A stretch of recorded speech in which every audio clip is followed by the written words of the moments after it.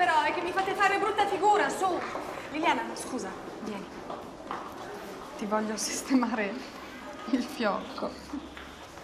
Oh, così. Grazie. Maestra Cesarina, lei ha dei bambini? Eh no, non ce li ho. Non sono sposata. Però per fortuna ho voi bambine. E vi voglio bene a tutte come se foste figliole mie. Però le altre ce l'hanno la mamma. È vero. Allora vuol dire che a te voglio anche più bene che alle altre. Liliana? Papà! Buongiorno, dottor Segre. Buongiorno. Com'è andata oggi? Sei stata brava? No, certo, bravissima, come sempre. Andiamo. Arrivederla. Arrivederci. Arrivederla, maestra Cesarina. Ciao Liliana, a domani.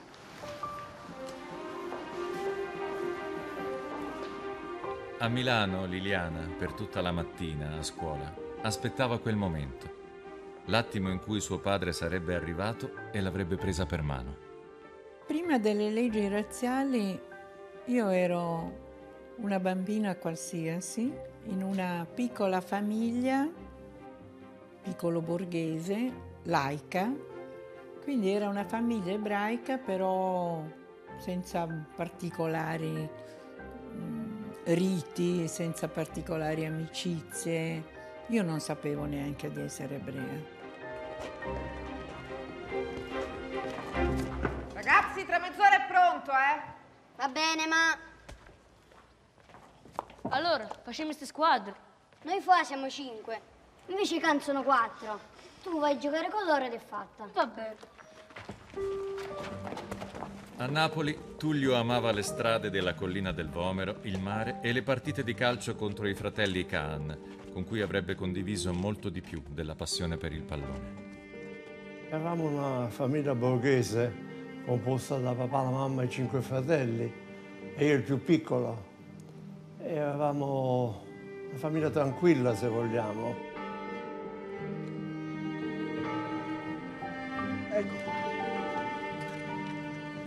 A Pisa Guido aveva un sogno, diventare un uomo come suo padre, buono e coraggioso. E con suo padre avrebbe scoperto che il coraggio di un bambino può essere più grande di quello di un adulto. Su via, Augusto. Perché non vieni anche te a lavorare qua?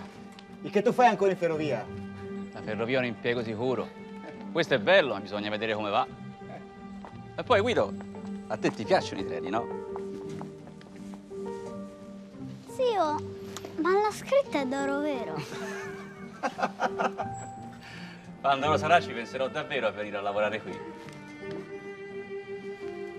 Ah, bellino. Ottimo lavoro, zio. In Borgo la maggior parte prima tutti i negozi erano di, di proprietà degli ebrei e di cui c'era anche un negozio dei miei zii che ci stava, di famiglia, insomma diciamo, che era il negozio della mia nonna, eh, ma era di famiglia.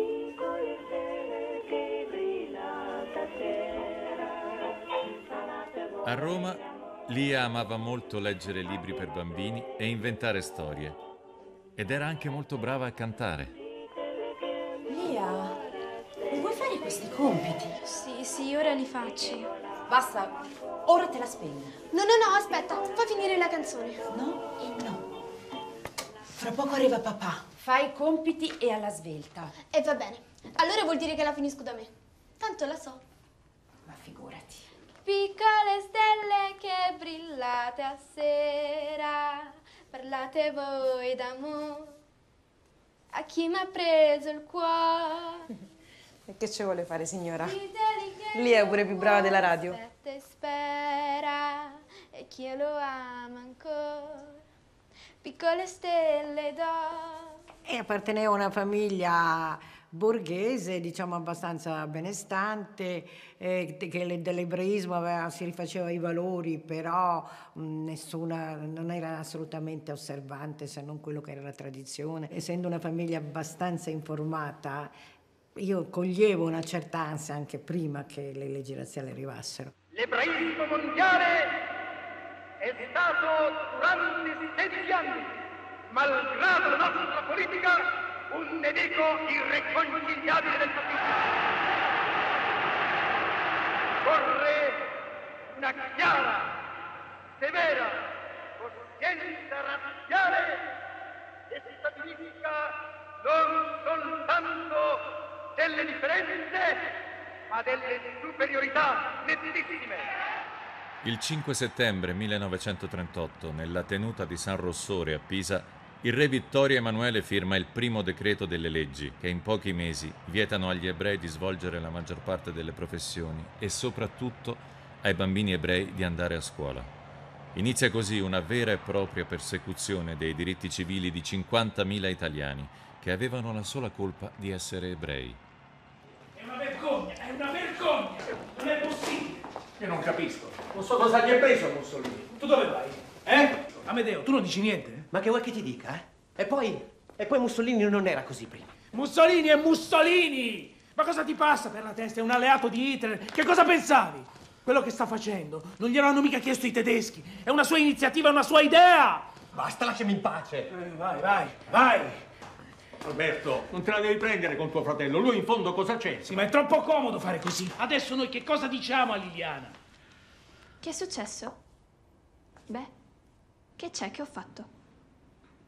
Niente, tu non hai fatto niente. Senti, forse è meglio se parlate un attimo di là.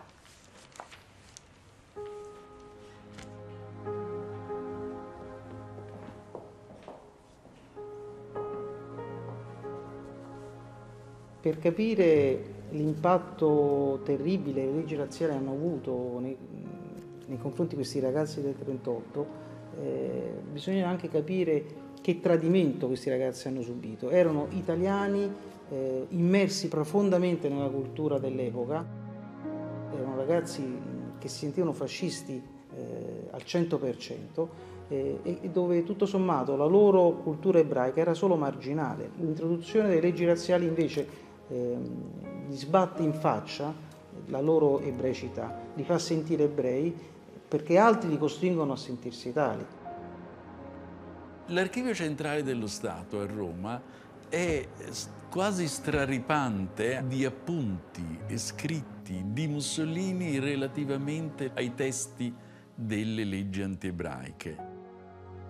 Si vede che è una persona che si è applicata, che ha studiato e che le leggi alla fine che vengono emanate, visto che lui è il dittatore, sono frutto di un lavoro e di una pensata se possiamo usare questo termine, seria e approfondita, dal suo punto di vista, ovviamente. Dall'ottobre del 1938, Tullio Foà, Lia Levi, Guido Cava e Liliana Segre non saranno più bambini come tutti gli altri. Ti hanno espulsa. Espulsa? Sì. A scuola non ci puoi più tornare. Ma che ho fatto? Niente, tu non hai fatto niente. E il governo ha fatto delle leggi, delle nuove leggi, che proibiscono ai bambini ebrei di andare a scuola con gli altri bambini. Ma io che c'entro? Noi siamo ebrei, Liliana. Sì, ma che vuol dire? Io sono italiana. Hanno espulso i bambini italiani. Gli italiani cattolici, che loro chiamano ariani, no. La parola espulsa dalla scuola elementare, dove io avevo fatto la prima e la seconda, era una notizia gravissima, era una notizia quasi insostenibile perché uno sa anche da bambino che per essere espulso dalla scuola deve aver fatto qualcosa di grave. Io cominciai con quella domanda perché, perché, perché, perché, perché, perché, alla quale non ho saputo dare mai la risposta e non la so dare neanche adesso. Non ha senso. Ma vuol dire che valiamo di meno? Per loro sì. Ma non è così. Non è così per niente. Tu per me vali come tutti gli altri bambini, anzi di più. Che facciamo adesso? Io adesso mi adopererò per cercare una scuola dove accoglieranno anche i bambini ebrei. Mm? Solo che la maestra Cesarina non la vedrai più.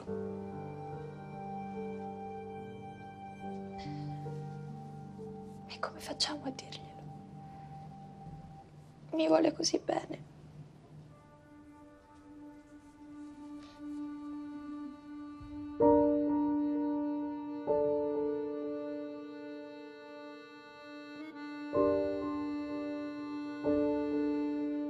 Le leggi razziali ci hanno preso, diciamo, all'improvviso, mm, come a tutti. Mia madre, dopo un po' di questi parlottare che io sentivo in casa, mi ha chiamato da una parte e mi ha detto ti devo fare un discorso. E dopo tutto il discorso consisteva nel fatto che io non sarei più andata alla scuola pubblica. Ecco, lì comincia lo smarrimento, quello però non consapevole. Voi due da domani non andate più a scuola. Io avevo 8 anni e mio fratello 11. Ma perché babbo? Dice, ma cioè, abbiamo tanto studiato, cioè, abbiamo i voti belli, perché non si va più a scuola? Perché è così, è così, va bene, non ci andate più. I bambini non devono solo sopportare questa nuova realtà che li colpisce, ma vedono anche piombare le loro famiglie nel caos e nella disperazione. È bellissima, vero Guido? Augusto, che c'è? Augusto? Io non so come dirtelo, Egizia. Vieni, Guido. Tu stai con la piccina? Ecco, con la sorellina. Augusto, ma che ti prende? Io non ho più il lavoro, Egizia. Mi hanno licenziato stamattina, leggi. Leggi. Ma no, le ferrovie non possono. Gli ebrei sì, mi possono licenziare, anzi devono. E tra poco anche Guido non potrà più andare a scuola. Il capo ufficio chiamò Babus e dice, oh, Cava, ti, ti, mi fa piacere che sei diventato padre, però, dice, io ti devo dare una, una bella notizia perché hai avuto la, una figliola, la terza figliola, però e ci, ci hanno dato una nota, dice, apri il cassetto, dice, questo è il licenziamento, dice, no, dice, babbo, le leggi razziali me l'aspettavo, no? E l'hanno licenziato. Ma perché a noi? Perché? Perché siamo ebrei. Solo ebrei.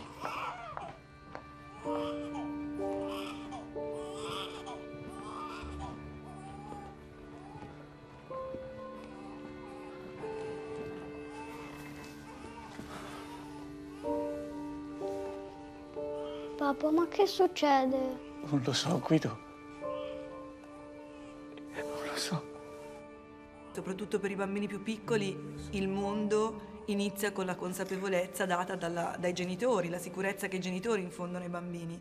Quindi vedere, ehm, senza sapere tra l'altro che cosa stesse accadendo, vedere i genitori eh, indeboliti, in lacrime, incapaci di rassicurare i bambini, eh, è stato il primo senso di incertezza e di perdita eh, del mondo dell'infanzia.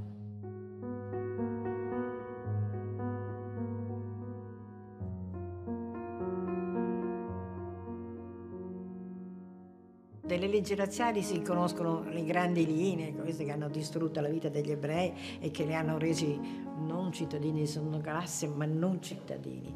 Però le- tutte le vessazioni minori, anche incomprensibili, sono state, hanno colpito nel quotidiano. Ma si figuri se me ne vado. L'hanno già detto altre volte, ma poi non è mai successo. Finora ci è andata bene perché mio suocero è stato un eroe di guerra. Ci ha protetto questo. Ma ora non basta più. Non possiamo più tenerti a nostro servizio. Ma perché? Perché sei ariana. Ariana.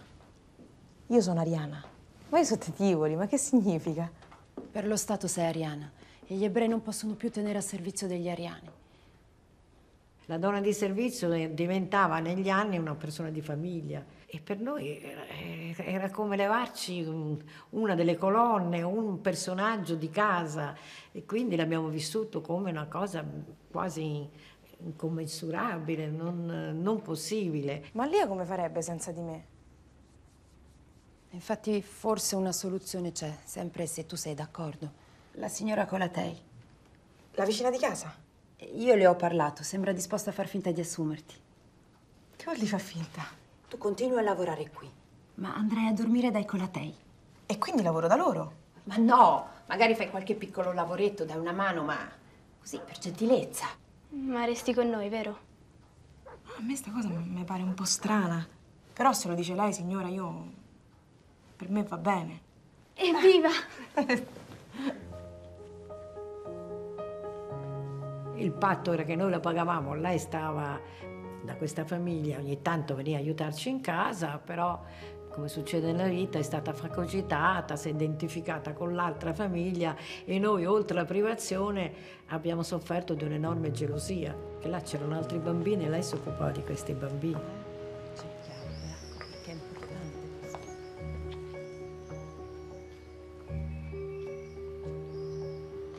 Buongiorno.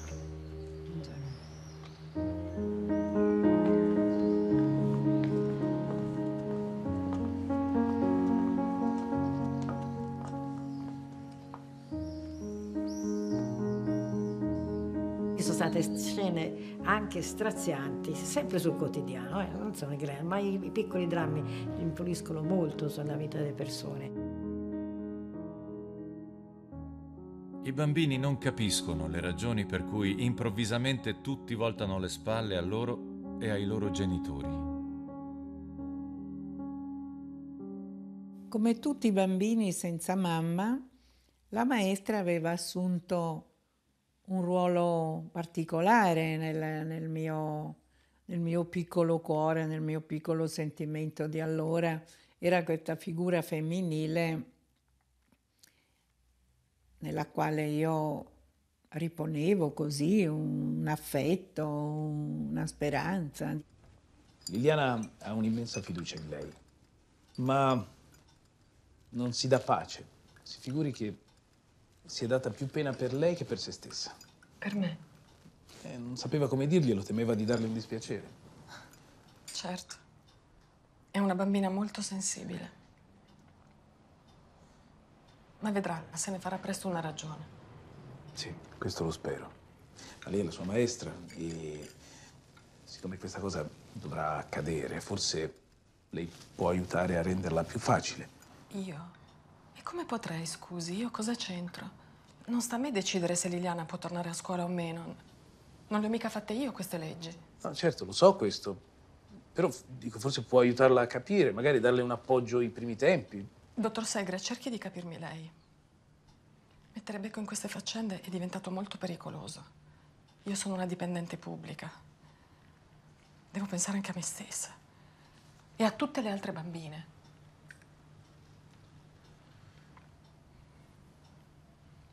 Non ci siete solo voi ebrei.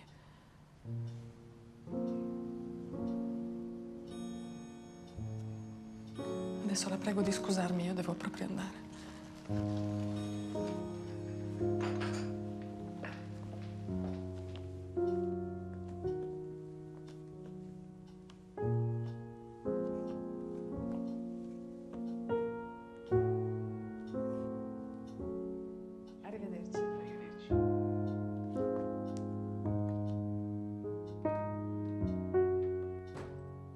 Ricordo che fu una grande delusione per me perché mentre io mi aspettavo baci e abbracci e grande dolore per non avermi più a scuola con lei, lei disse: "Eh, Ma non le ho mica fatte io le leggi razziali, cosa c'entro io?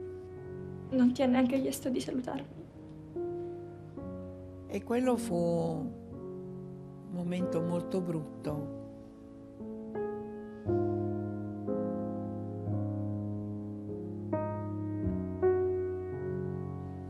Eravamo 25, credo, le bambine di allora e furono solo due che continuarono ad essermi amiche.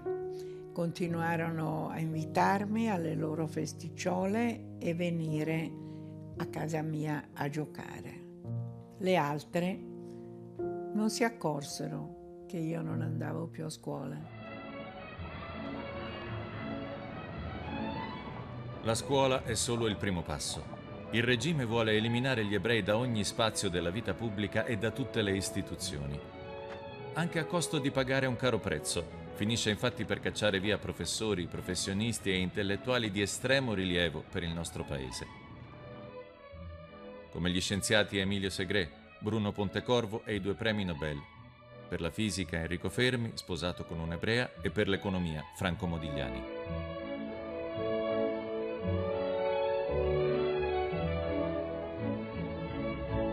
La società italiana non protesta pubblicamente. Non protesta il re, non protesta l'altro vero, grande, diverso potere o addirittura contropotere che era la, la Santa Sede. Le leggi del 1938 sono accompagnate o da un consenso o da queste benedette formule di silenzio-assenso abbastanza alto.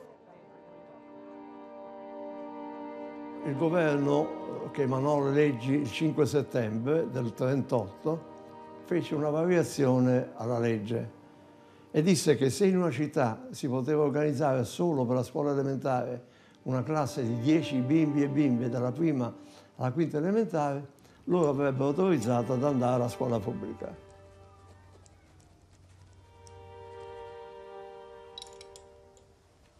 Signor Preside, scusate, ma io non...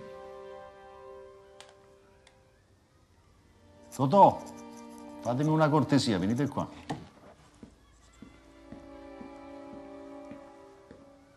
Mi andate a prendere un caffè, ma non qua sotto. Arrivate in piazza, che è più buono. Bene.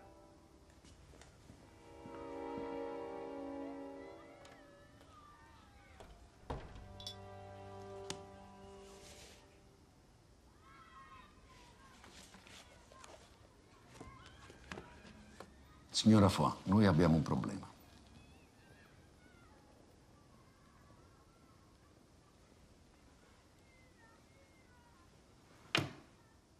La legge consente di formare una classe speciale per giudei se ci sono almeno 10 bambini di 6 anni. Noi qui alla scuola Vanvitelli ne abbiamo soltanto 9. Lo so, i miei figli studiano qua. Remo, eh, Mario. Sì, sì, lo so. A me interessa l'altro, perciò vi ho fatto chiamare. Come si chiama? Tullio. Tullio. E quanti anni c'ha Tullio? Cinque. Lei è proprio sicura che c'ha 5 anni?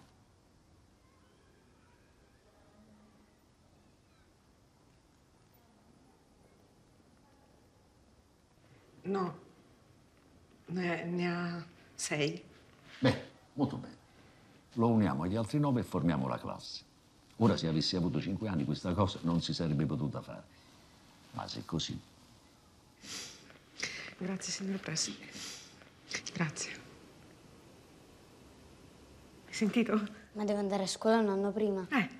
E devo pure ringraziare. Tullio. Grazie. Grazie. Arrivederci. arrivederci. Giovanotto, arrivederci. Arrivederci. Arrivederci. Grazie. Tutto molto bello, ero contentissimo, andavo a scuola con un fratello più grande, con gli amici che incontravo nel nostro luogo di culto che si chiama sinagoga. Avevo anch'io la mia divisa, il mio grembiulino nero, il mio colletto inaminato bianco, un bel fiocco rosso. Solo che dopo qualche giorno incominciai a notare qualcosa di strano. Uno, La scuola Vanvitelli ha un cancello molto grande e un cancellino laterale molto piccolo.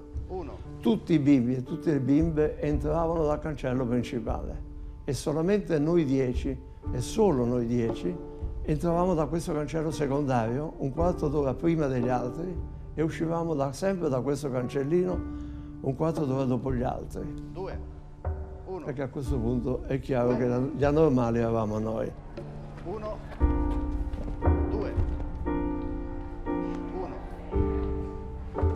Io, ma che fanno questi?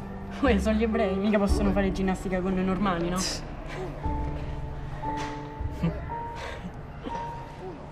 Noi non potevamo avere contatti con gli altri ragazzi e chiaramente i ragazzi dicevano ecco gli ebrei, ecco gli ebrei, ma non sapevano nemmeno loro cosa volesse significare.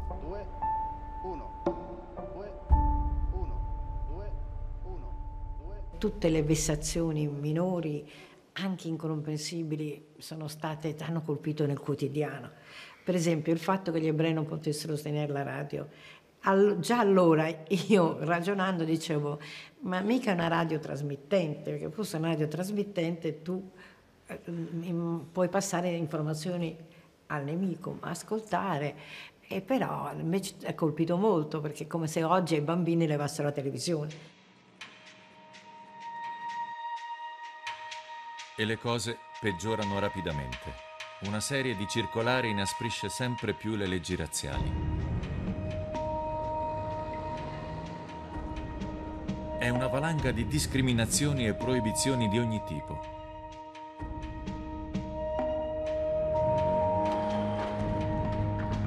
E non importa che la maggior parte di questi divieti siano totalmente assurdi.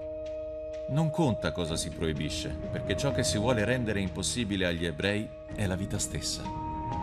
Con questo il, il- il- il regime ottiene due risultati contemporaneamente. Uno è quello semplice e puro di perseguitare gli ebrei. L'altro è quello di stimolarli ad andarsene. Papà era vice direttore di banca e gli fu detto che da oggi non faceva più parte di quella banca perché era licenziato. Papà chiese il motivo e gli fu detto perché era ebreo. E papà emigrò nell'Africa, esattamente a Nasmara, dove si presumeva che per gli italiani ci fosse lavoro. E poi anche perché le leggi razziali non erano così rigide come stanno diventando in Italia.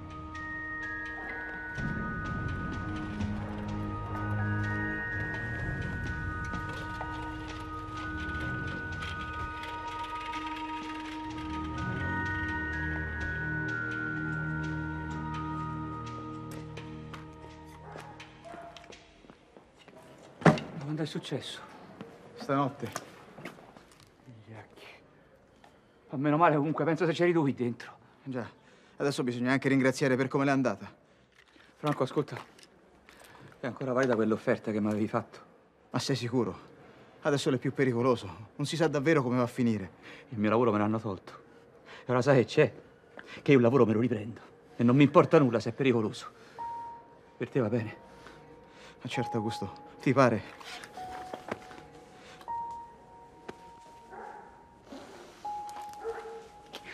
Dai, su, andiamoci da fare.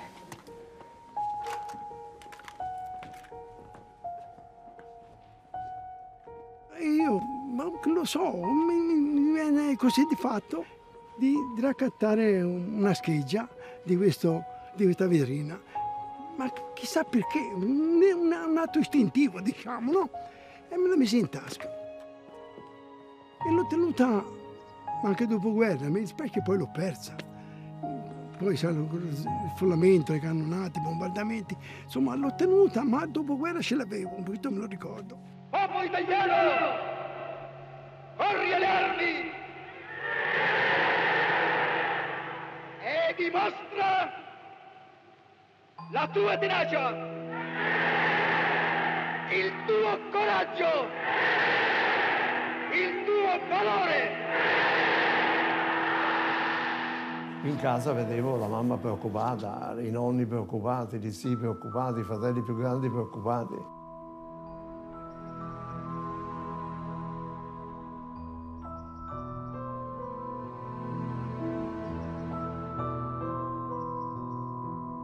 Si ritornava a casa e si notava sempre che mancava o un quadro, o un tavolo, o un tappeto. La mamma, per dare da mangiare a questi quattro ragazzi, ha venduto tutto quello che poteva vendere.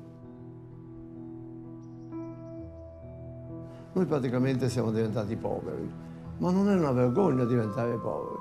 Diventare poveri è una, una condizione. Ed allora la mamma prese una decisione d'accordo con noi di affittare una stanza. E fu affittata una stanza a un signore molto alto, che io ricordo benissimo. Venne questo signore e questo signore ci accorgemmo che sentiva Radio Londra, che praticamente è una radio molto importante, dove c'era uno speaker italiano che mandava dei messaggi strani all'Italia, Felice non è felice. che per, per le persone normali non significava niente. La mucca non dà latte. ma per i partigiani che si stavano organizzando contro i tedeschi significava molto, perché significava che probabilmente avevano degli aerei che avevano paracadutato medicine, armi, soldi. E però la mamma quando si è accorta che questo signore sentiva Radio Londra, disse lei non può più rimanere a casa. Io ho quattro ragazzi piccoli, siamo nell'occhio del ciclone, deve essere cortese e deve andare via. Questo signore andò via e si chiamava Pietro Calamandrei, che è stato uno di quei personaggi che hanno scritto la Costituzione, Chi ha tolto il sigillo? Magari che ne so. Ascoltate Radio Londra. Sono guai adesso. Lo sapete? Mi dispiace, deve essere stata la donna di servizio che ha urtato facendo le pulizie. Credo si possa riparare facilmente. Crede si possa riparare? Date un'occhiata nelle altre stanze.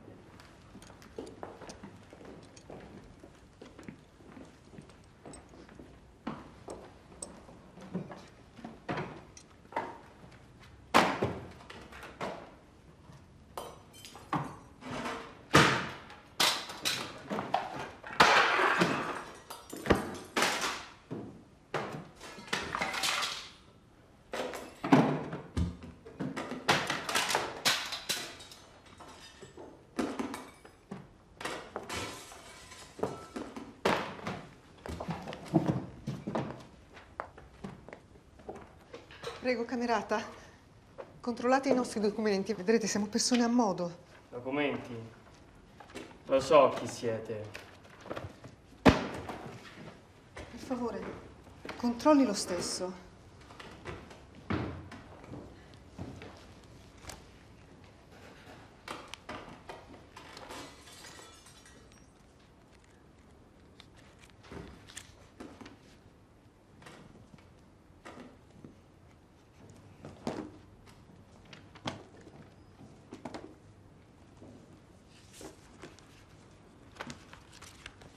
Va bene così. Andiamo!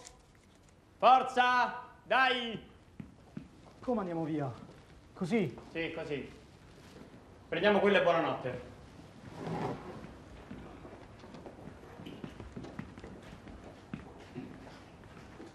Così non avete più la tentazione. Giusto? Allora ditemi grazie.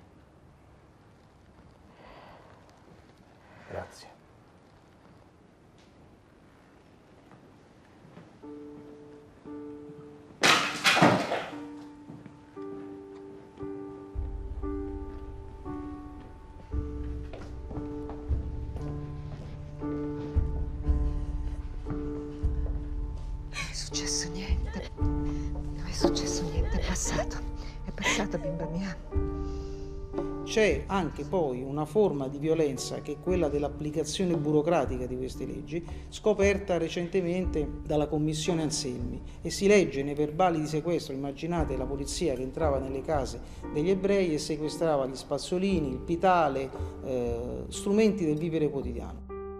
Riguardo alla, alla- alla proprietà dei beni, eh, ci sono due fasi. Eh, in un primo periodo, dal tre- 1938 al 1943, vengono limate le punte, cioè viene posto un tetto, abbastanza basso in verità, di beni immobili che l'ebreo può possedere. Oltre quel certo tetto eh, è costretto a cederli, a subire l'esproprio, ricevendo in cambio dei certificati ad un tasso abbastanza inferiore a quello di mercato dell'epoca. Eh, per cui era una manna per lo Stato comprare e rivendere le case degli ebrei. Eh, dopo l'8 settembre 1943 si passa alla confisca generalizzata eh, di tutti i beni posseduti dagli, eh, dagli ebrei.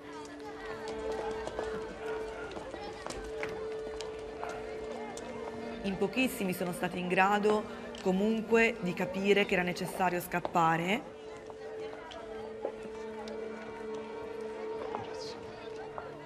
E poi non bastava capirlo, bisognava avere eh, delle conoscenze, bisognava procurarsi eh, i visti, i documenti per l'espatrio. La gran parte dei paesi ha chiuso le frontiere poi agli ebrei in fuga, quindi ehm, molti si sono visti anche negata la possibilità di andarsene. E poi il caso, la decisione di eh, affidarsi a un vicino piuttosto che a uno sconosciuto, perché a volte poteva essere il vicino di casa che tradiva e viceversa lo sconosciuto che aiutava a mettere in salvo.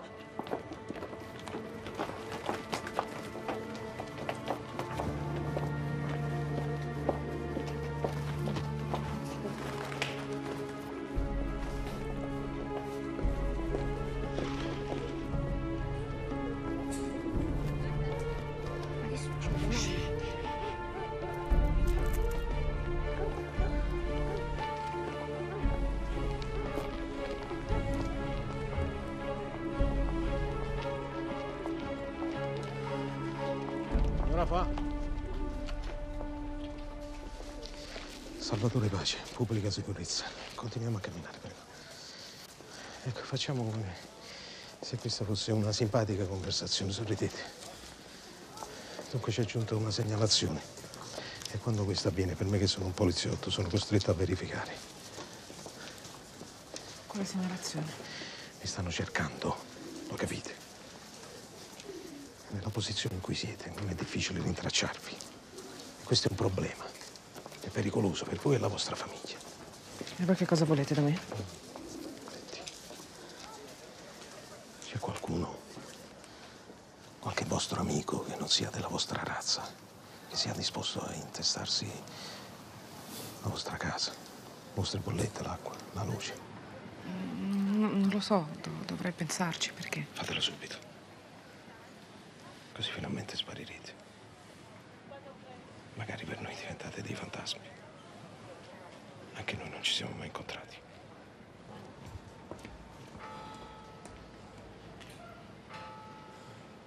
Grazie. Andiamo. E Siamo molto riconoscenti al commissario Salvatore Pace perché ci ha aiutato, ma noi non sapevamo chi era, né lui conosceva noi. Quindi è stato un esempio di altruismo notevole, come pure invece Marcello Magri, che era un amico di famiglia, che si eh, intestò le utenze e l'affitto andando incontro anche a dei pericoli che venivano dal- dalle pene che davano quelli del partito.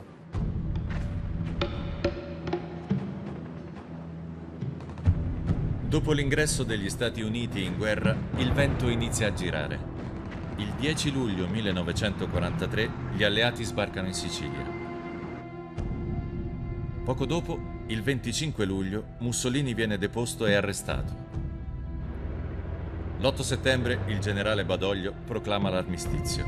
Molti italiani credono che la guerra sia finita, ma non è così.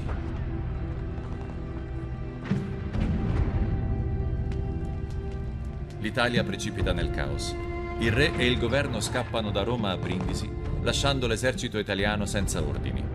Centinaia di migliaia di soldati vengono catturati dai tedeschi e deportati in Nord Europa. Il paese si spacca in due. Il sud è controllato dagli alleati, il centro e il nord invece sono occupati dalle forze nazifasciste.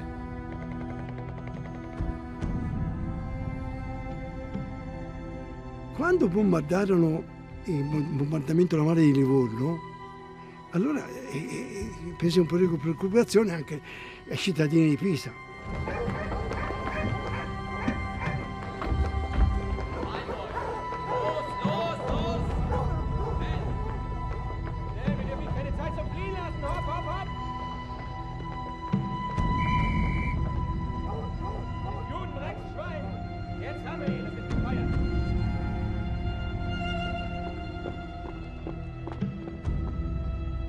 Cosa abbiamo qui? Dov'è il capitalista israelita? Vive là, in quella casa.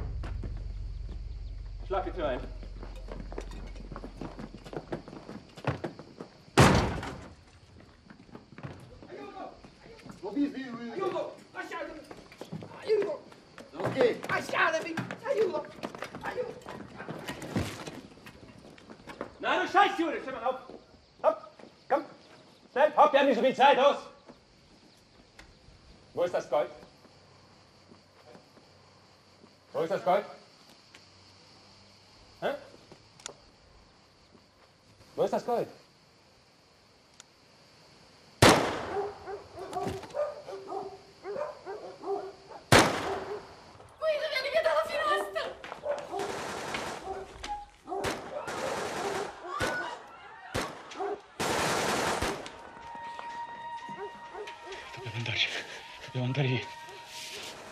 Facciamo così. Tu prendi Flore e vai a Bienti, nella tua zia. Io e Guido possiamo andare da mio fratello a calci. eh?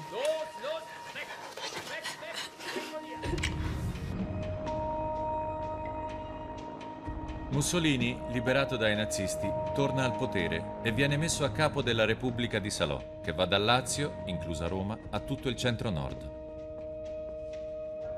Mentre le forze alleate supportano il re Vittorio Emanuele III nel Regno d'Italia, costituito da tutto il sud, Mussolini sceglie di aderire totalmente alla ferocia hitleriana.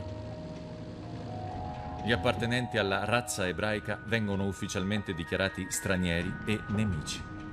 Gli ebrei, tutti gli ebrei, devono essere arrestati e deportati nei campi di concentramento in Germania e in Polonia. Sembrava che la libertà e la pace fossero vicine, invece per gli ebrei italiani è l'inizio dell'incubo più atroce. La Carta di Verona è un documento approvato a metà novembre 1943, contiene una serie di obiettivi sul terreno sociale e al suo interno la dichiarazione che gli appartenenti alla razza ebraica sono stranieri e durante questa guerra appartengono a nazionalità nemica. In quel momento viene revocata la cittadinanza agli ebrei italiani. Respira.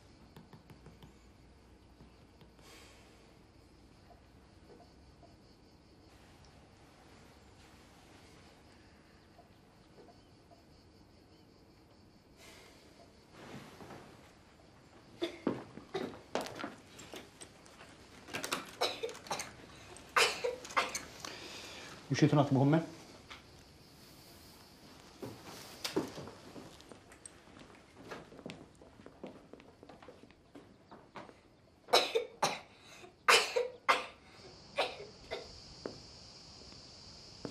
Il bambino ha la polmonite. Va ricoverato subito. No, questo non è possibile. Non è possibile. Perché? Perché noi siamo ebrei.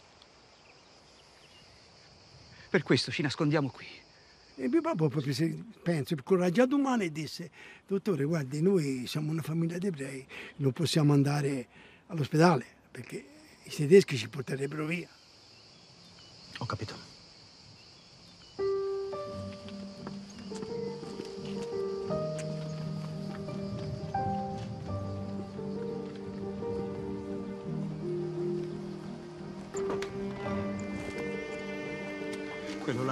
Fascista. E se ci denuncia?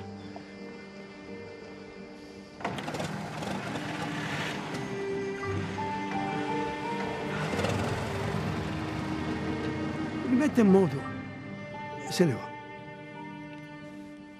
Se ne va. Dopo un'oretta nemmeno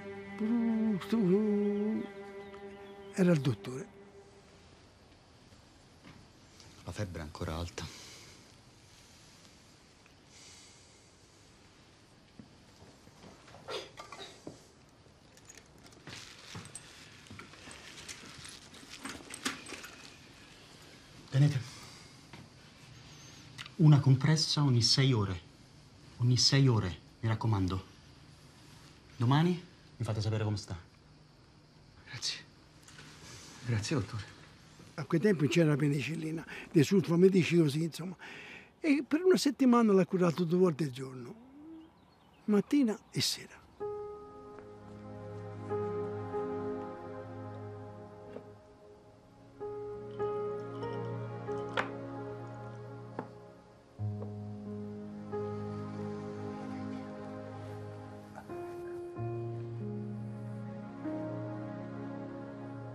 Nelle famiglie ci sono dei fratelli, delle sorelle, addirittura dei- a volte dei, dei- dei gemelli, il cui destino è segnato. Andrà tutto bene qui tu. I due fratelli Segre, Amedeo e Alberto, avevano un anno di differenza. Erano due fratelli diversissimi. Uno vincente è stato mio zio, uno perdente è stato mio papà. Quando arrivò il momento della fuga, il momento più difficile per tutti, mio zio, che nel frattempo aveva sposato una cattolica, scappò in montagna con la moglie, solo che lasciò mio papà con i due genitori, il nonno malatissimo, il morbo di Parkinson, e la nonna che stava andando un po' fuori di testa per tutte le paure, gli spaventi. Mio papà, figlio e padre straordinario, era così spaventosamente combattuto, avrebbe voluto mettere me in salvo, ma come faceva a lasciare i genitori da soli? Come faceva?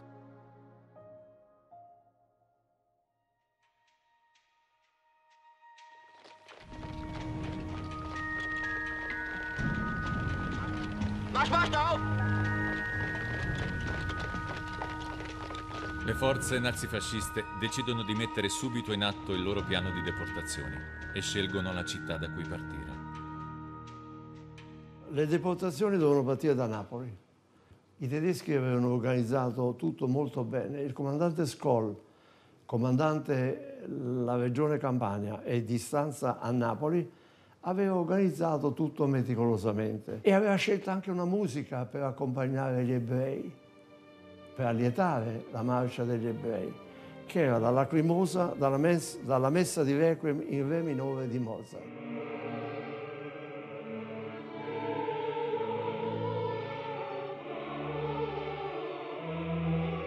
Ma il colonnello Skoll ha eh, sottovalutato l'ardore è dei napoletani, perché i napoletani in quattro giorni riuscirono a scacciare i tedeschi.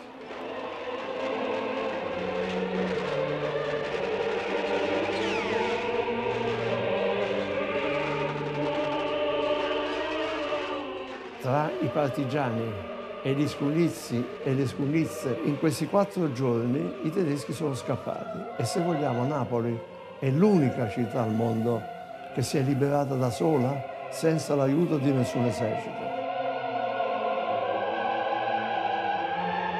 Il 9 ottobre a Trieste e il 16 ottobre 1943 a Roma, migliaia di ebrei vengono arrestati e dopo alcune verifiche caricati in carri bestiame e spediti nei campi di concentramento in Europa centrale. Nella capitale, tra le 1259 persone arrestate, ci sono 207 bambini. A tornare da Auschwitz, però, saranno solo 15 uomini e una donna. A Roma in molti riescono a salvarsi, nascondendosi in quei conventi che coraggiosamente aprono loro le porte. Questi sono i documenti di una bimba che studiava qui e non è ancora tornata per colpa della guerra. Adesso sono i tuoi. C'è scritto Maria Cristina Cataldi. D'ora in poi sarà questo il tuo nome. Risponderai solo se ti chiamano così. Lia non c'è più. Per ora. Devi dimenticarlo.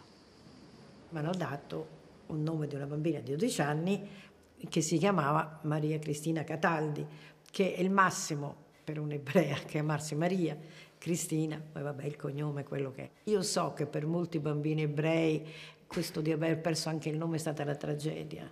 Io non l'ho vissuto come tragedia, l'ho vissuto come diventare un'altra, com- come una commedia, diciamo. Le bambine in refettorio, prima di mangiare, si fanno sempre il segno della croce. Maria Cristina, dovresti farlo anche tu, altrimenti le altre capiscono. Lo sai fare? Sì.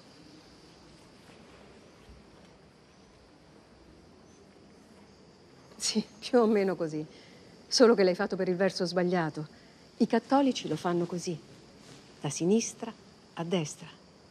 Tu l'hai fatto come gli ortodossi, da destra a sinistra. Bravissima. Così. Fiamma, vieni qui per favore. Sì, madre. Questa è Maria Cristina. Da oggi starà con voi nella camerata. Accompagnala, così sistema le sue cose.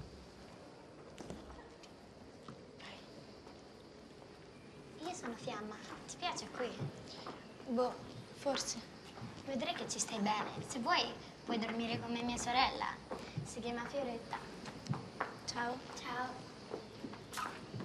Nel convento, anche lì, eh, siamo stati sfiorati dal pericolo perché i tedeschi sono venuti due o tre volte e una volta eh, l'ho saputo un anno fa da, da una suora che è ancora vivente che cercavano gli ebrei. Però si sono accontentati dei primi due piani per una specie di chiamiamolo miracolo eh, arrivati a salire la terza rampa dove invece c'erano gli ebrei nascosti sono andati via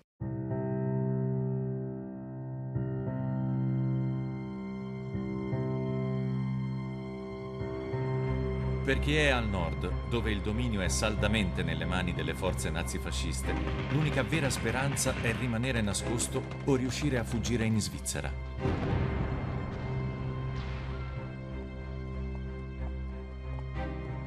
Mio padre trovò un sistema che sembrava allora una via di salvezza per i nonni, un permesso della questura di Como che vista l'età e la malattia rilasciò alla questura di Como questo permesso per i due vecchi che erano impossibilitati, c'era scritto, a nuocere al grande Reich tedesco.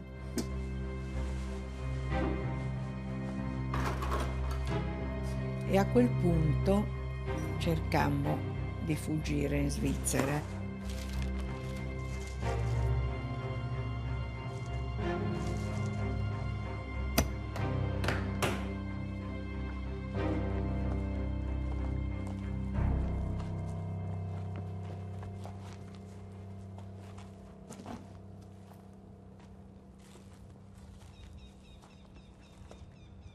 Arrivati? Siamo in Svizzera? Ancora no, ma da qui in poi è più pericoloso. È pieno di pattuglie. Quindi? E quindi sono altre mille lire. Come altre mille lire? Gliel'ho già date mille lire. Allora la Svizzera la trovate per conto vostro. No, no, no, aspettate, aspettate.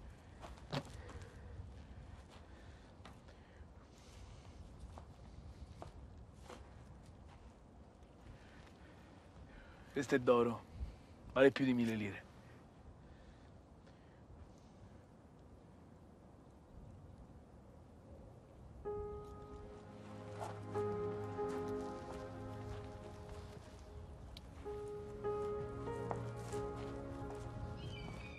Eravamo due borghesi piccoli piccoli a affrontare la montagna incapaci, grotteschi. Mio papà già dall'inizio diceva ah non ce la faremo mai.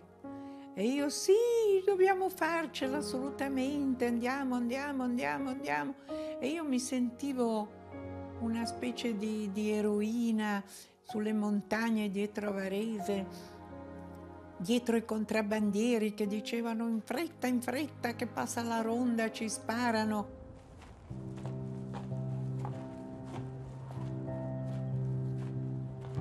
Oltre a quella cresta, lì è già la Svizzera. E voi non venite? In Svizzera ci dovete andare voi, non io. La valigia. Eccola.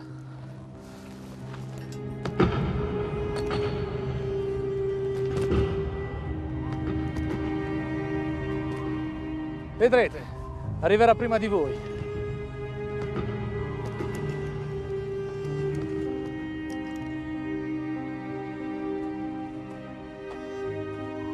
Arrivammo in Svizzera, eravamo felici. Io dicevo, papà, hai visto, ce l'abbiamo fatta, ci abbracciavamo felici, ma non fu così. Fermi! Sulle mani! Chi siete? Ebrei. Ebrei italiani. Documenti. Grazie a Dio siete arrivati.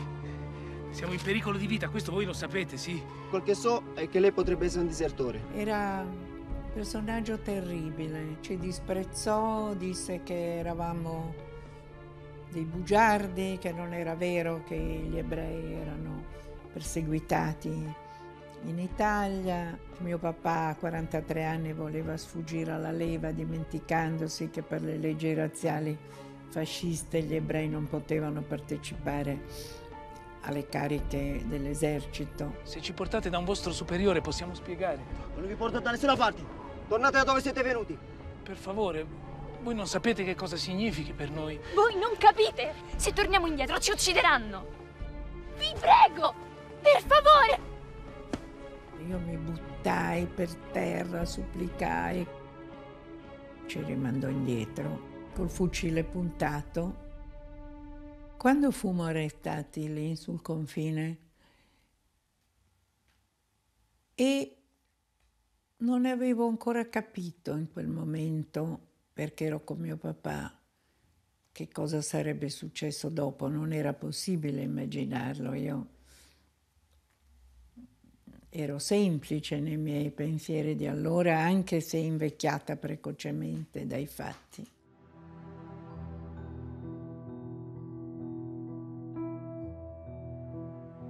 Ma quando entrai per la prima volta nel carcere femminile di Varese, le impronte digitali, la fotografia, perché? Ma perché, perché, perché, perché, perché c'era in me questa domanda ossessiva verso il nulla del perché io fossi lì. E poi quando fui nel carcere di Como e quando fui poi nel grande carcere milanese di San Vittore. Io nata a Milano ero sempre andata in bicicletta intorno al carcere, ma non avevo mai pensato che io avrei visto da dentro il carcere quello che si vede fuori. E dopo 40 giorni di prigionia nella cella 202 del quinto raggio dove ero con mio papà. Dopo aver sopportato lo strazio di vederlo portare via due o tre volte alla settimana per interrogatori terribili della Gestapo, beh, diventavo vecchia. E quando lui tornava e ci abbracciavamo, ero sua mamma, ero sua sorella, era lui il mio bambino da consolare. Poi arrivò un giorno in cui entrò un ufficiale tedesco nel raggio e disse che ci dovevamo preparare a partire per ignota destinazione il giorno dopo.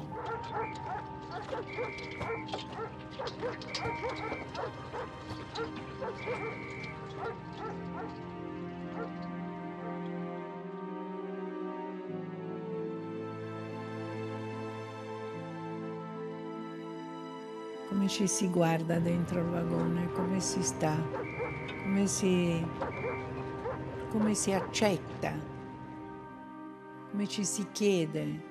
Perché, chi ha fatto questo, chi ha, chi ha organizzato questo. Sono uomini come noi, non sono pazzi.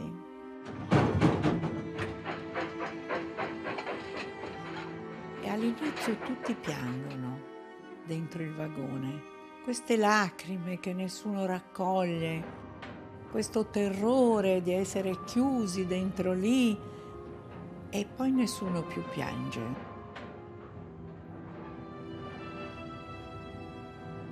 E poi c'è la preghiera, la preghiera di quelli che si riuniscono nel centro del vagone e ringraziano Dio.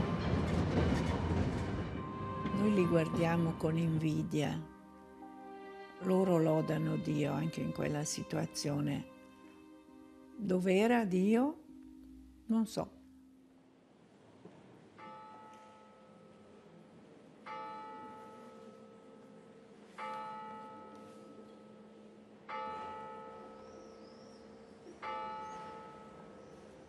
C'era la Pasqua ebraica, due bambine del gruppo, insomma, delle bambine ebree, la famiglia aveva deciso che per un giorno, per fare il seder della Pasqua ebraica, avrebbero potuto tornare avevano deciso di tornare a casa loro, un giorno solo. Anzi, hanno detto i tedeschi mica sanno tutto. E questa frase a me mi aveva colpito perché avevo detto a mia madre, ma senti, è vero, ma per un giorno perché non andiamo anche noi? Mia madre ha detto, non ci pensiamo per niente. E, e questi invece, i tedeschi sanno tutto in quanto c'è stata una spiata dei vicini e sono stati portati via questi bambini, tutta la famiglia. E noi l'aspettavamo, aspettavamo che tornassero la mattina dopo. Sì, ditemi. Oh mio Dio. Quando è successo? E le bambine? Grazie. Ci sono novità? Una spiata. Li hanno presi. Tutti. Anche Fiamma e Fioretta? Sì. Anche le bambine.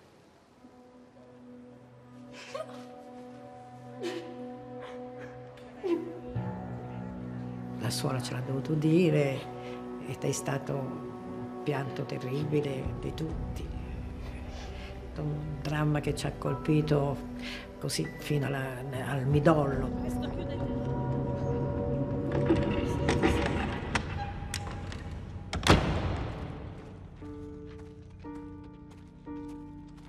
A gennaio del 1944, l'anno peggiore della guerra, gli americani sbarcano ad Anzio, a 60 km da Roma.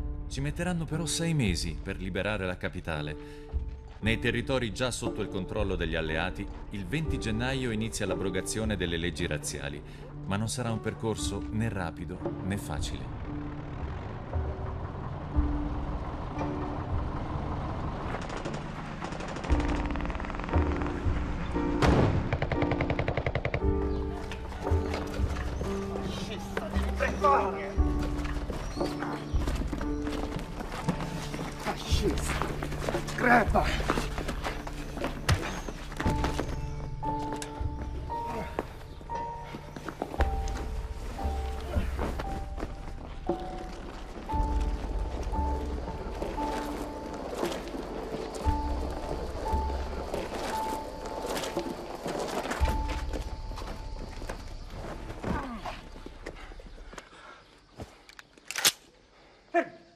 Fermi, che fate? Fermi! Fermi!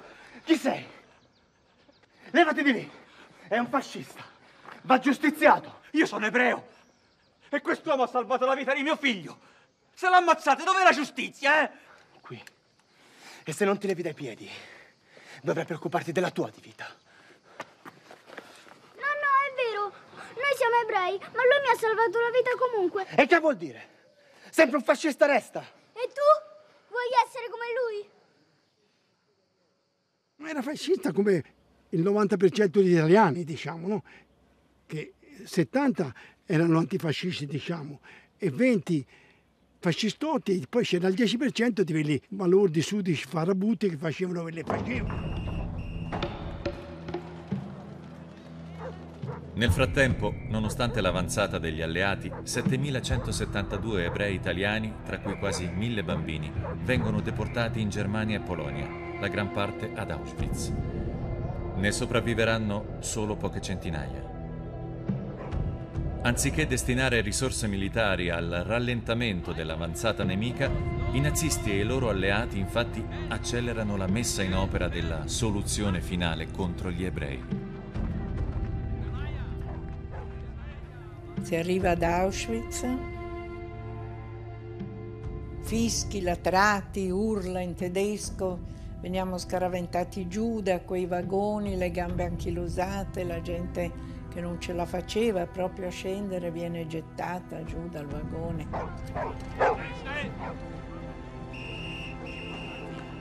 E lì, su quella Judenrampe, quella stazione artificiale preparata da anni. Sei arrivato in un mondo che non è un mondo, sei arrivato in un, in un incubo, se, se fai parte di un disegno diabolico a cui tu non, non sei preparato perché ti chiedi perché.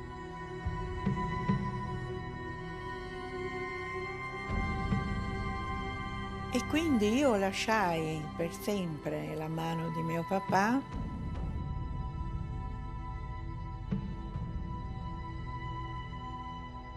e spero che anche lui pensasse che ci saremmo rivisti alla sera, invece non ci siamo mai più rivisti, ma non lo sapevamo. Spero che neanche lui lo sapesse in quel momento.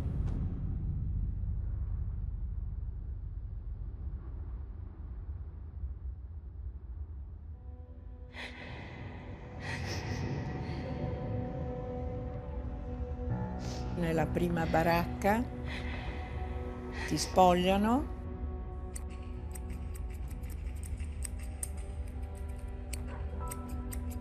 ti radono, ti rasano, ti tatuano il numero sul braccio sinistro. Non sei già più quella che sei scesa dal treno due ore prima.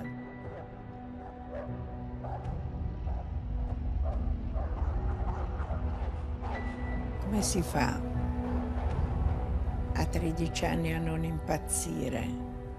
Quando vedi questo mondo in cui l'ordine, la severità, il terrore applicato ad ogni essere umano finché ancora fosse stato in vita, ti trasformava in un numero, ti trasformava in uno stuck, in un pezzo, così come i tuoi assassini volevano che tu fossi.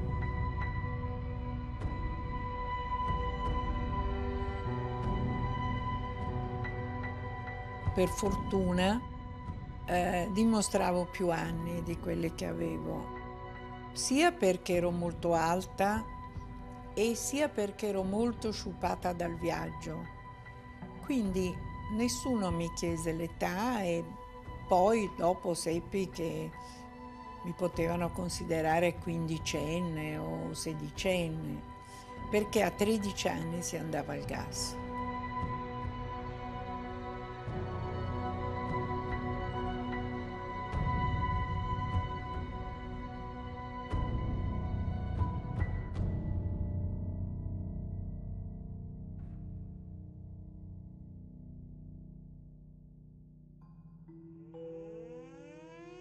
Dopo pochi giorni io fui presa per il lavoro in fabbrica. Facevamo i bossoli per mitragliatrice, era una fabbrica che lavorava per la guerra.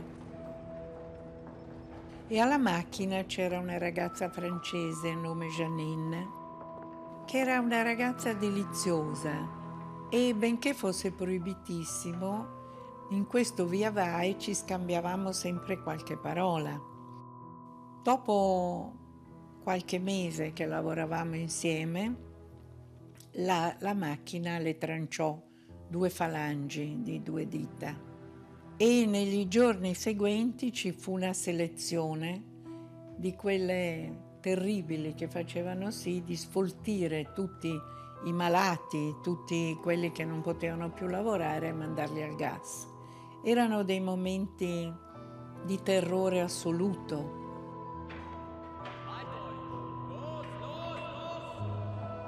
E la paura spaventosa arrivando fin lì, il cuore che batte come un pazzo, voglio vivere, voglio vivere, voglio vivere, voglio vivere, voglio vivere. In fila indiana dovevamo sfilare e arrivare dove c'erano due ufficiali e questi, voi pensate, donna nuda davanti a uomini in divisa che la guardano davanti, dietro, in bocca e poi fanno quel gesto fantastico. Vai, per questa volta sei viva.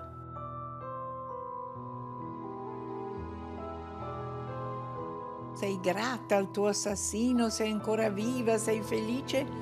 Dietro di me fermano Janine e decidono di mandarla al gas. Io fui orribile. Io ero diventata una lupa affamata, egoista, che non voleva amare più nessuno e che non sopportava più distacchi. Non mi voltai, non le dissi ciao Janine, ti voglio bene, fatti coraggio, o anche solo Janine. Mi sono rivestita e il giorno dopo c'era un'altra operaia al posto suo. Ma io non me lo sono mai perdonato. Janine che non è diventata vecchia per la colpa d'essere nata.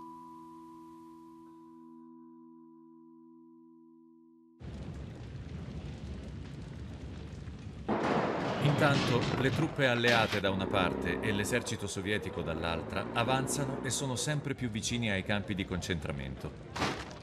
In Polonia i nazisti lasciano i lager che stanno per essere conquistati e iniziano a trasferire i deportati in Germania. Auschwitz viene liberata il 27 gennaio 1945, data oggi celebrata come Giornata della Memoria. Arrivò l'ordine di lasciare la fabbrica e di cominciare a camminare. Era la marcia che fu chiamata poi la marcia della morte.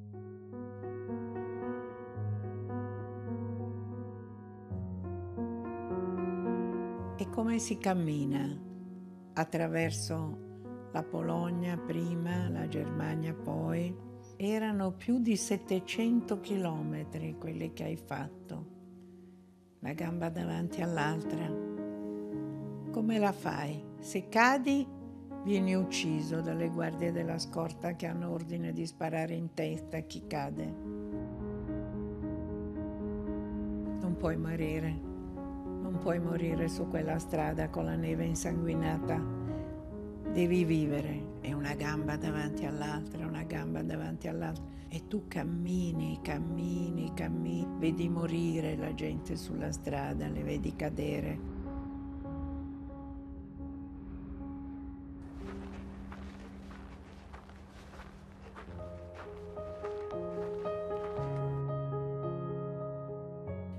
Quando penso a quella ragazzina che cammina nella neve, che non può appoggiarsi a nessuno, che è sola, completamente sola, in quell'universo del male e che ce l'ha fatta con tutte le cose che le sono capitate, con le cose che ha visto. E ne ho una pena infinita, ma come ha fatto? Come ha fatto? Come ha fatto a essere qui adesso, vecchia? Come ha fatto?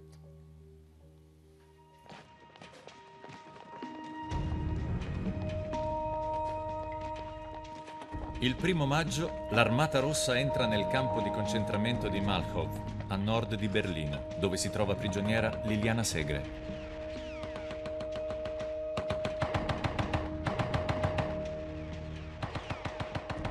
I nazisti, terrorizzati, iniziano a scappare e provano a camuffarsi da prigionieri.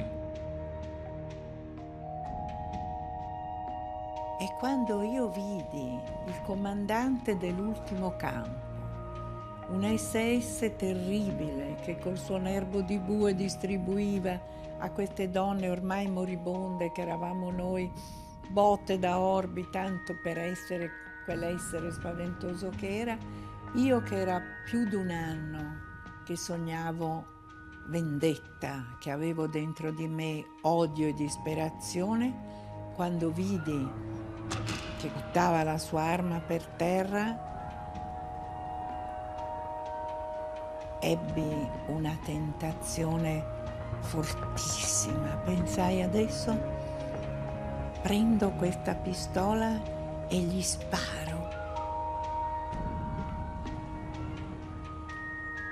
Sembrava proprio il giusto finale di tutta la violenza che avevo subito io, che avevo visto subire. Ma fu un attimo io capii che io non ero come il mio assassino, che io avevo scelto la vita che non potevo togliere la vita a nessuno. Da quel momento sono stata quella donna libera e quella donna di pace che sono anche adesso.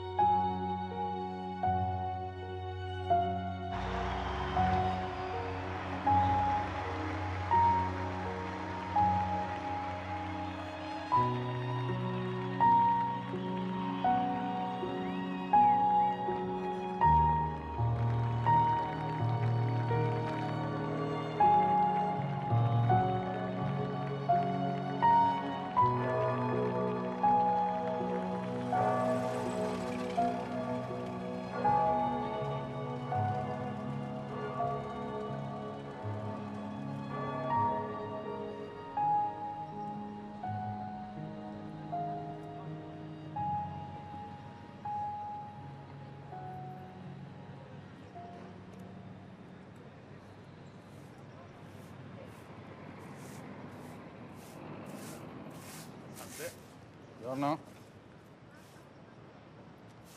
Via, via di qui. Non abbiamo niente da dare. Antonio, non mi riconosci? Sono la Liliana, Liliana Segre. Oh signor. Liliana. Liliana.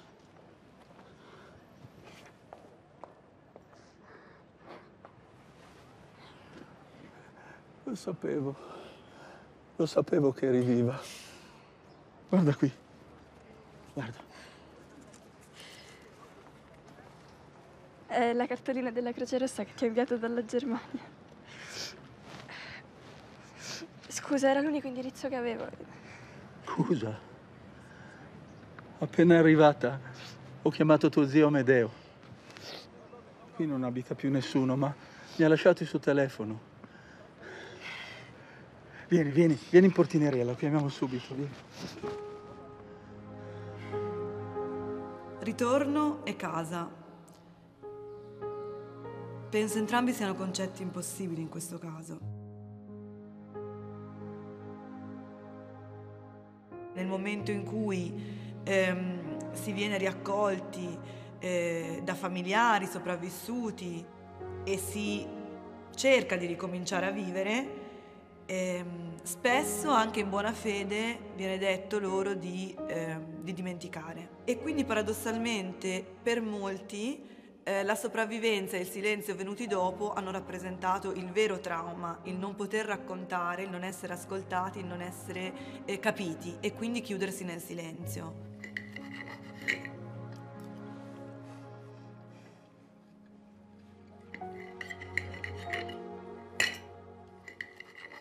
La faccia dei miei parenti quando mi hanno visto. Ero la delusione stampata sul loro volto, così erano sbalorditi davanti a questo essere che non era niente di simile a quella che loro immaginavano di incontrare, niente di simile a quella ragazzina bene dei loro ricordi ultimi.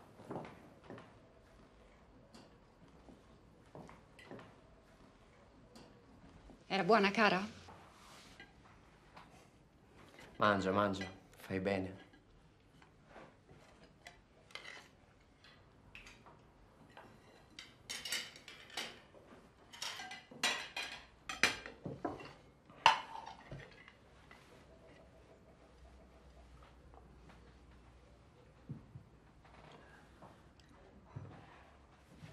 Ecco, così li leggi meglio. Ma te li vuoi giocare anche all'otto? Liliana, chiedi scusa a tua zia. E perché? È lei che mi guardava. Faceva due occhi. Liliana, così non si fa. Medeo, non ti preoccupare. Non fa niente, davvero.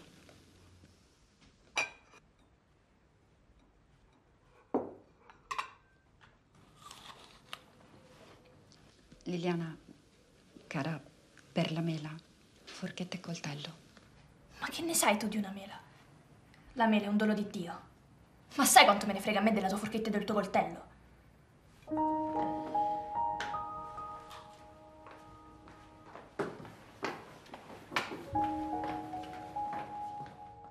Ero vergine, era il problema maggiore. Mi fecero visitare, non ci credevano. Era un'umiliazione. Mi era successo niente da quel lato. Non eravamo stuprate, queste sono state delle leggende. Eravamo scheletrite, mostruose, sporche con gli ascessi. Proprio con noi dovevano venire i bei soldati tedeschi, andavano con le loro pari grado che erano pronte lì all'uso.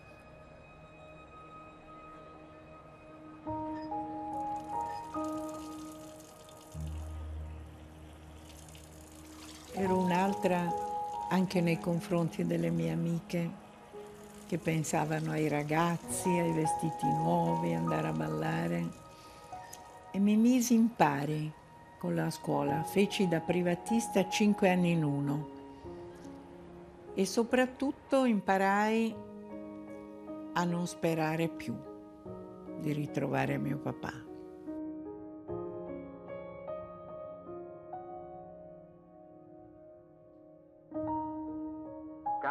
Ascoltatrici, cari ascoltatori, continua il nostro grande concorso Voci Nuove.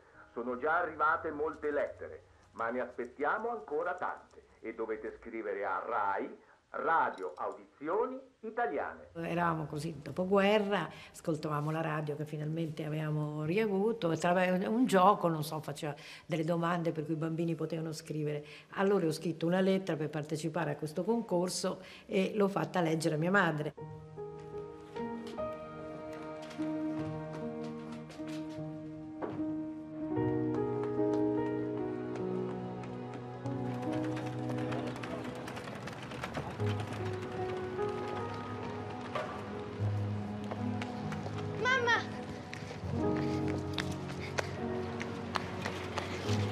Quelli del concorso hanno detto che aspettano nuove lettere. Se ti seguono poi ti fanno cantare.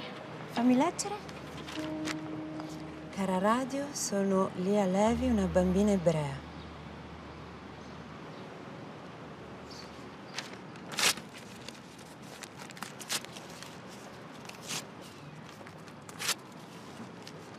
Ma mamma, che fai?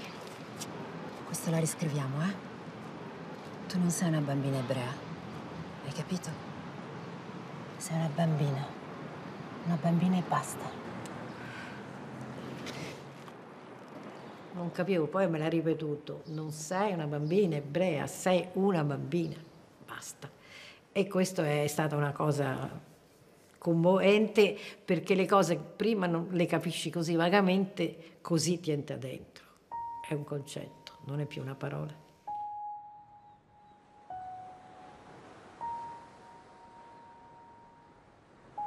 Per fortuna, tre anni dopo il mio ritorno, andai al mare con i miei nonni un'estate. Entrai in un gruppo di ragazzi e ragazze che stavano al mare e fui accolta in questo gruppo. Notai subito un ragazzo, cominciamo a chiacchierare e a me piaceva molto subito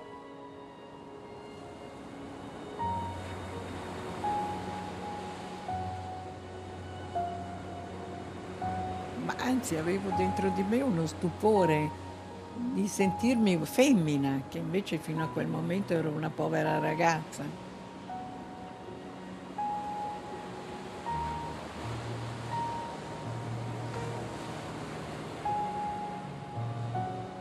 Vide il mio braccio tatuato e disse Io so cos'è questo.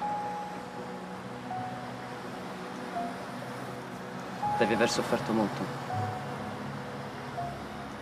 Eh, lo so perché sono stato prigioniero anch'io. Ho visto tante persone come te.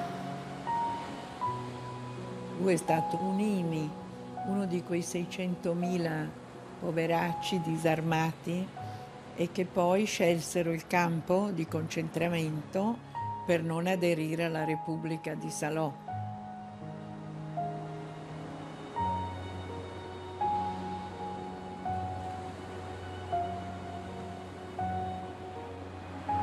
Andiamo. Sì, andiamo.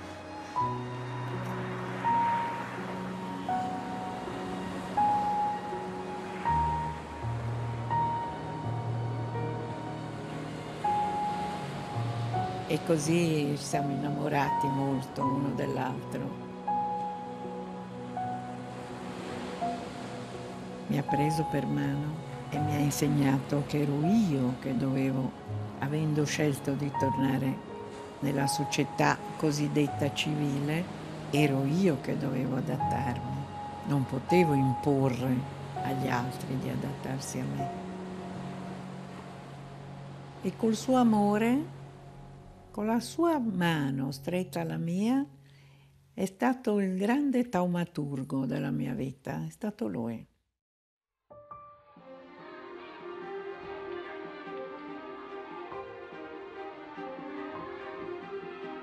Quando sono entrato a scuola media ho avuto un'emozione, intensa perché avevo capito che avevo riacquistato la libertà ma che aveva acquistato soprattutto la dignità che nessuno mi era riuscito a travolgere. E tutto è passato, piano piano. Poi nel 1947 mio papà è morto e, sono, e la mia mamma con tre figlioli con l'aiuto dei, dei parenti, insomma, siamo messi in commercio giù di lì e ora eccoci a raccontare tutte queste belle cose.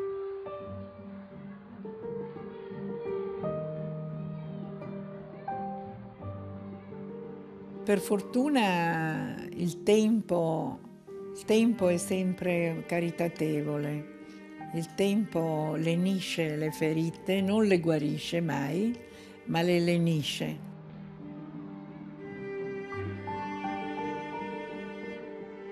Cosa mi rimane? Mi rimane come mi, che mi sono formata con quell'epoca. Cioè non è che io sono così e poi c'è un ricordo lontano. La mia formazione, il mio modo di essere, eh, qualcosa anche del mio modo di difendermi dalla vita, l'ho ereditata da quella parte. Ancora adesso, sì, difficoltà ci sono, oppure de, de, degli ostacoli della vita. E penso, vabbè, ce l'abbiamo fatta allora, ce lo rifacciamo anche adesso.